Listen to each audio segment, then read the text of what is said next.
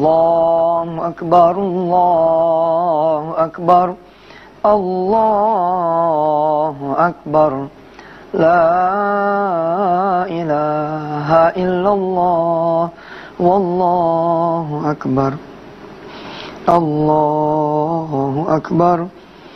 Walillahil hamd. Pemirsa, makasih masih bersama Yusuf Mansur. Baik, kita teruskan ya. 10 dikurang 1. Ini adalah sedekah biasa. Tapi saya menyebut pengorbanan adalah bila kemudian saudara bisa 10 kurang 5 ke atas. Ya. 5, 6, 7, 8 sampai 10. Kalau saudara punya duit satu juta, lalu saudara sedekah dua setengah persen, rasanya itu masih kewajiban ya. Masih merupakan satu semestinya, keharusan. Tapi bila mana saudara gajian satu juta, oke? Okay? Uh, eh, subhanallah, ketemu dengan satu jalan uh, sedekah yang luar biasa dari Allah SWT. Lalu pindah gaji itu. Wow, ini berat, berat, berat, berat, berat. Saudara saya ingin bercerita tentang satu kawan saya yang namanya Mustafa. Mudah-mudahan Allah merahmati beliau.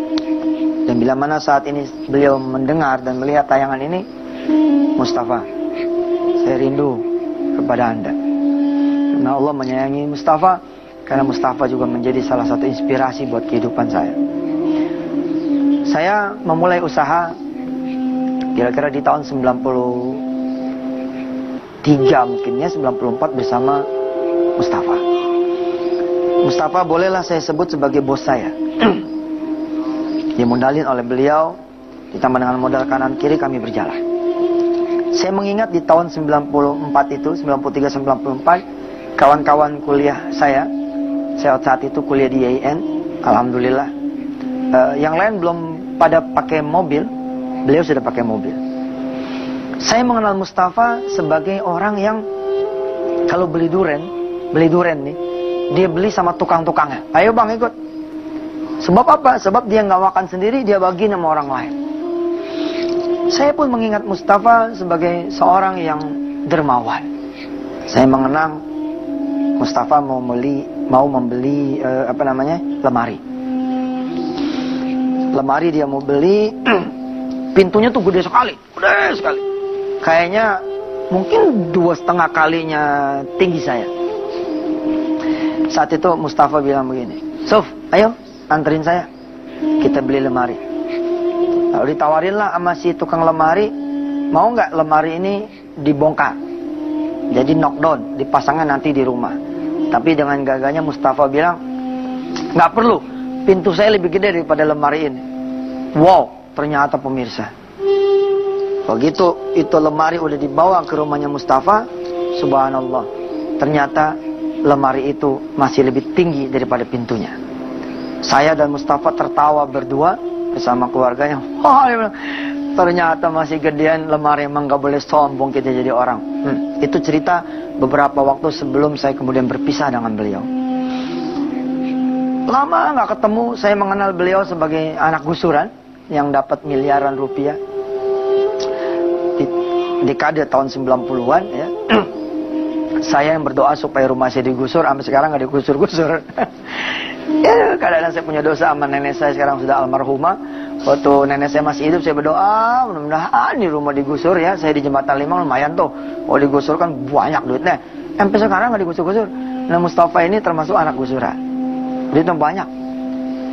Pokoknya hidupnya di atas rata-rata kita-kita orang dah gitu. Lama tak ketemu.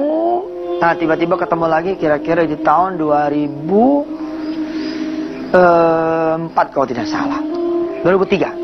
2003 saya ketemu dengan beliau. Dia nanya sama saya di satu masjid saya ketemu dengan beliau. Sehat, Suf? Sehat. Antum gimana, Ji? Ya, udah sehat. Anda udah punya pesantren sekarang. Oh, udah punya pesantren. Iya, main dong doain pesantren anak. Ya ya ya. Insya Allah anak main mus ke rumah antum. Insya Allah anak mau lihat pesantren antum. Mustafa ini teman saya. Dan bahkan bukan cuma teman, dia bos saya. Dia meminjami saya duit 70 juta pada saat tahun 93-an. Bayangkan ya saat itu kendaraan minibus ya.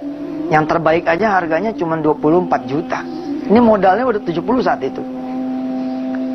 Pemirsa saya akan lanjutkan di kisah ini nanti ya setelah uh, jeda yang berikut ini tetaplah bersama saya di Wisata TV. Kita masih bercerita tentang pengorbanan seorang hamba kepada Allah Subhanahu wa taala. Mudah-mudahan sebagaimana saya malu terhadap Mustafa, saudara-saudara juga bisa tumbuh rasa malunya kepada Allah. Apa sih yang sudah kita berikan kepada Allah selama ini? Apakah recehan, sisa, atau mongolnya? Atau sesuatu yang besar dari kita? Bukan lagi cerita sisa dan recehan.